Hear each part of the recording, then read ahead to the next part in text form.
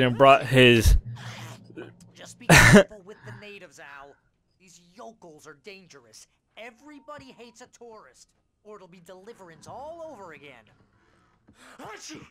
All right, he's. Oh, this place is trying to kill me. I'll bet there's mold in here, spores, poison ivy, God knows what. This is so not worth a 15% commission. Did, did, did, does this hurt your eye, buddy? Yeah, I knew it. I. Knew it. I was waiting for him to for. I was waiting for something to, to happen, like pointing that thing in his face. All right, well, pick up those batteries. Anything else over here? Switch lights off. Have fun in the night, buddy. All right. Well, there's nothing else. Let's go. Later, buddy. I'm out of here. I'm gonna go head out to the dark. Let's go. I'll wait here, Al. I'll hold down the fort. I'll be with you in spirit every step of the way, Al. Locking the door now.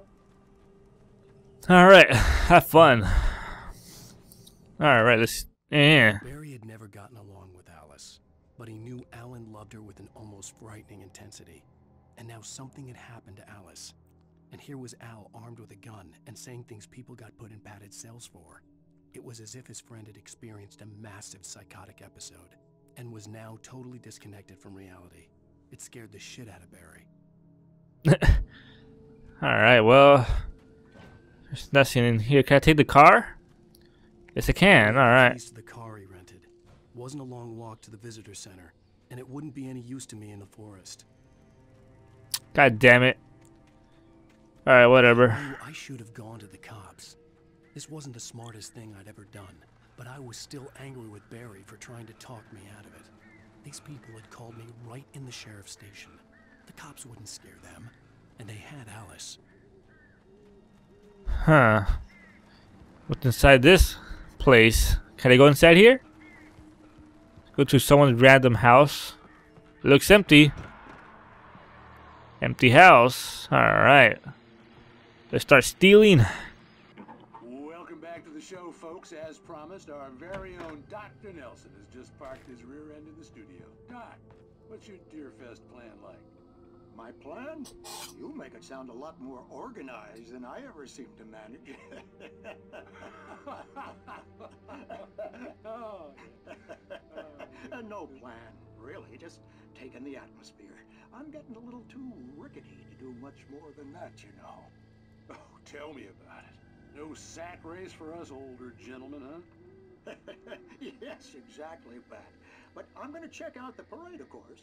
And I'll be one of the pie contest judges, too. Well, that takes a different kind of constitution.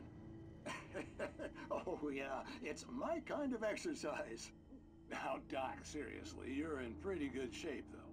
You're the outdoors type. I, I know for a fact you're an avid fisherman. That's right. Matter of fact, just caught a heck of a largemouth bass early this morning. But you're not taking part in the fishing contest?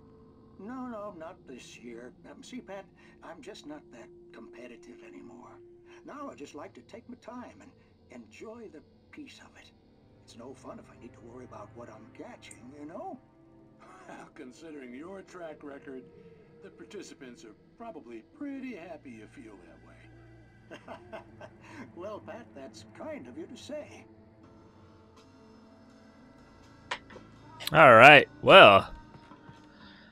All right. I don't know what. Whatever.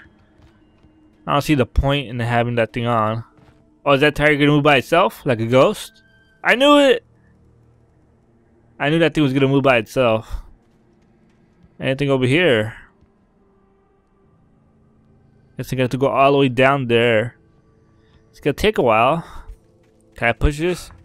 Ugh, what the hell? What the what the fuck is going on? The hell was that? I just push that. I push that thing and then it goes all crazy. Alright, well. Let's see what's in this house. or this cabin. Elderwood Natural Trail, Moonshine Cave, Lover's Peak is that way, but let's see what's in here. Can I go inside here? Yes, I can. No, I can't. Fuck. I can go inside the cabin. Let's see what's inside here. Open it. Ooh. Okay. That's one way of opening it. Let's watch TV. Another episode of Twilight Zone. Alright, here we go. The cancer and cure of civilization. But some crimes are impossible to punish, especially in Night Springs. Tonight's episode The Man in the Mirror. Oh boy. He's inside, Agent. He's a weird one. So, you're confessing to killing that guy, huh? Why? And it coming? Yeah, but why would you do that? I mean, you're a nice guy. Normal. Took a kid to a soccer game. So how come at the game, you pick a guy and, quoting from the arresting officer's report here, assault the victim's head area repeatedly with the weapon of choice being a pair of bare fists? Wow, that sentence really flows, huh? Maybe you're not the literary type. Okay, so you mess him up. But why? Who was that guy? We couldn't ID him. Why would a guy like you do him like that? I didn't like his face? Well, you must have hated it, because you really went to town there. I mean, there's no way to tell what he looked like. No ID on him either. That must be difficult. But then we ran the fingerprints. Got a match. Your prints. Identical. Huh, how about that? Your son said you were wearing a white shirt when you took him to the game. But the white shirt is on the dead guy. It's plenty red now. You won't get away with this. Do you really think that's in any way relevant to me? I had plenty of time to talk to my boy before the cops arrived, you know? He won't stop screaming, am I right? You think he's ever gonna be okay? I left my mark. Believe me. You, you bastard. What? You gonna shoot me? What's the point? I'm going to prison. You got me. I, I don't understand any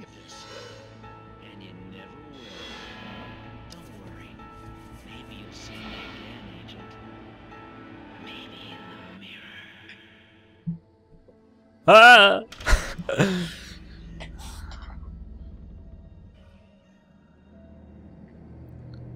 oh god, that was a, that was a good episode. All right, wow.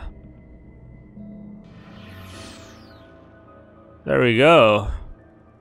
All right, well, let's continue on, shall we? Let's go. I just knocked that thing down. A phone? Who could I call? Barry? Nope. Huh, it's a hiking trail. I could go down this way. What is this? Someone crashed. The air in the visitor center was heavy with an awful smell, as if some rotten drowned thing had crawled up from its grave. Rusty kept coughing blood. My eyes were drawn to the twisted shape of his broken leg. The attack had been vicious. Max whined in his cage. Rusty's eyes were wild with fear and terror. He gasped. Mr. Wake, it happened just the way it was on that page. I don't know if I should go this way or what's over here. Let's just go over here quickly see if there's anything up this way. Do not do not feed the wildlife. A hundred dollar penalty for that.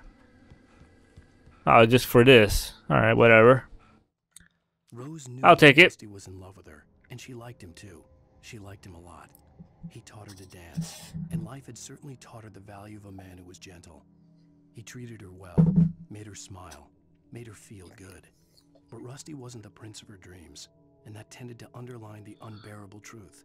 She was no closer to that Hollywood magic than he was. Okay. All right, let's go back down. Whew. Oh, come on, Alan. You get tired so easily. Oh, come on. Fallen Rock Zone. What did that say?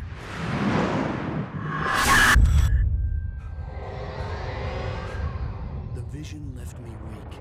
This was no head injury.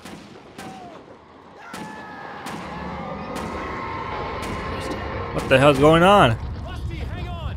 I'm coming! Please, help me! What the hell is going on?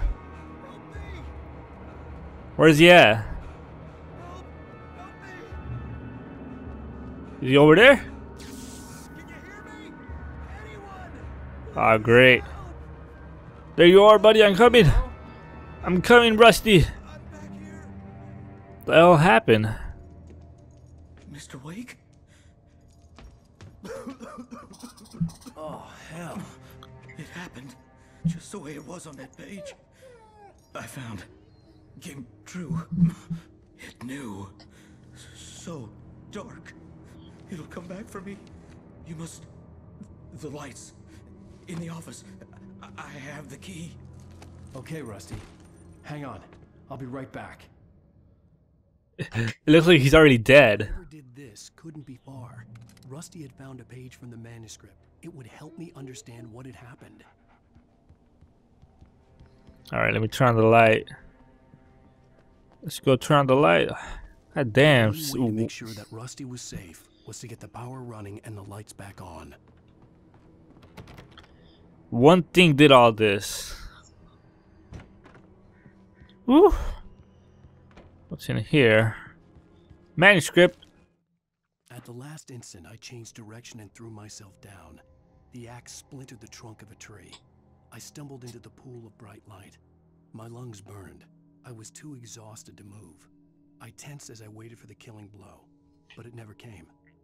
I raised my head. Nothing moved in the darkness beyond. For the moment, bathed in the cold light, I was safe. Okay. It's in here? Open that up. Got some batteries and ammo. Alright, well. I don't see nothing else in here. What's in this room? I was too late. Someone had destroyed the circuit breaker. There was no way to get the lights back on. God damn it. Oh! Wait, get back there!